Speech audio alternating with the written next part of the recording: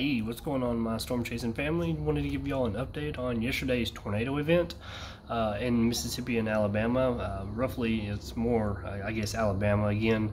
Uh, but yesterday there was uh, confirmed over 13 tornadoes, possibly more. Uh, the National Weather Service are still out doing surveys and um, trying to get a, a, a, better idea of how many confirmed tornadoes there were.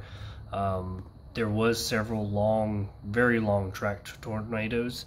Um, I've seen one graphic that showed that potentially there was a tornado on the ground for over 34 miles. Uh, preliminary, the one south of uh, Birmingham was rated an EF3. Um, that's kind of the uh, the higher end of it potentially.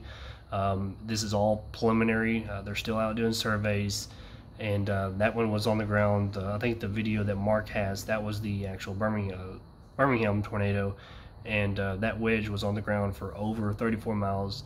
Um, still to be determined if there's where's the start and end point of this tornado was.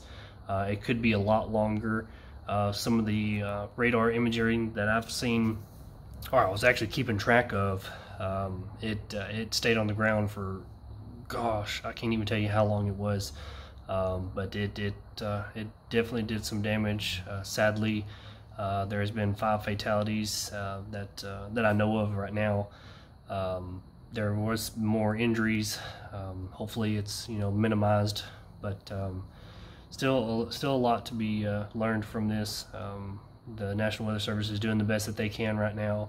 Um, there was a a larger tornado that happened late, late, late last night in Georgia, um, in Newnan, and uh, that one was rated an EF4, and uh, it uh, I saw it right before I went to bed, and uh, some of the uh, the debris signature it it was pretty bad, and that one was literally I think at 11 o'clock at night, and it did quite a bit of damage to a small town. Um, it just goes to show you that you know even late at night tornadoes can happen. So anytime tornado warnings are issued uh, you've got to take it seriously. Um, even if it doesn't you know if it's already passed you know if you're still in that tornado warning I'd still take it serious until your county uh, city is uh, all in the clear. Um, but with that said um, it uh, it hurts you know. Um, it it, it picks at your heart to know that you know people lost their lives, and um, you know it even having an, an advanced warning, um, then it, that uh, it tugs at your heart. Um, you know that there's there's more that you wish you can do, but uh, in the same sense, uh, you can do the most that you can is by you know being out spotting uh, giving the information to the National Weather Service that there's a confirmed tornado. But uh, with the way yesterday's setup was, was these tornadoes were moving at a good 40, 50 mile an hour, and um, it's it's hard to keep up with, and uh, they cover a lot of ground pretty quick, and um, that's uh, it's it's hard, you know. you know. You wish you can do a lot more, but uh, in the same sense, you know, the most you can do is just relay that information that hey, there's confirmed large tornado on the ground uh, please take this serious kind of uh, situation. But um, anyway, guys, uh, did get my storm chasing vehicle back. Um, hopefully, it's fixed. Um, there is a potential for some severe weather tomorrow. Um, I don't know if I'll be able to chase it, but um, that's I think in the northeast corner of Arkansas, southwest uh, Tennessee, around the um, Memphis, Tennessee area. There's a, the potential for some severe weather in that area. Um, it's not really high, but you know the National Weather Service, the Storm Prediction Center, excuse me, um, they actually made notation that there could be you know possible tornadoes. Some of them may be strong, um, but uh, that the potential is there, and they have you know they're monitoring it.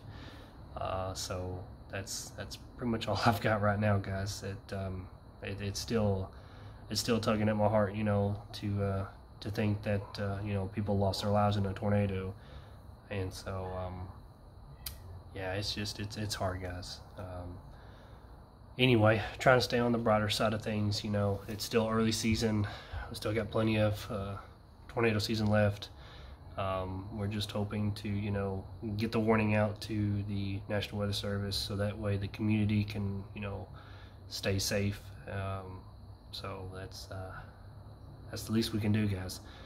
Um, anyway, be sure to um, if you haven't already subscribed, hit that like button and uh, I'll try to get more videos coming. The video that I had of the tornado chase I did in uh, the Texas Panhandle, uh, some of the video was kind of corrupted on it, Mark said. Um, I kind of did a poor job of narr narrating uh, exactly uh, more of the Mark style vlog, uh, but um, I'll try to see if I can work out something where I can maybe show some clips of you know the highlighted tornadoes that I did and something of that nature. Um, but other than that, uh, I'm, I'm, trying to get a video up for that one.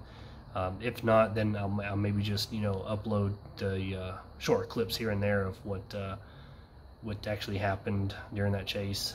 But um, anyway, guys, I'm gonna get off of here. It's getting late. I still haven't ate yet. I just got off work about 30, 40 minutes ago, so still a little bit tired. But you know, got to make a video. It's been a week since I've made one, so I'm I'm falling behind on my job, guys. I'm sorry. But uh, anyway, uh, y'all be safe. Um, you know, keep your loved ones close, guys. You know, never forget to tell them that you love them because you just never know uh, when it could be your last day. You know, so please let your loved ones know you love them, and um, you know, take Mother Nature seriously. You know, I've, I've learned my lesson here and there. So um, just you know, you do what you can, guys. Um, as always, be safe, take care, God bless, and I will see y'all in the next video. Later.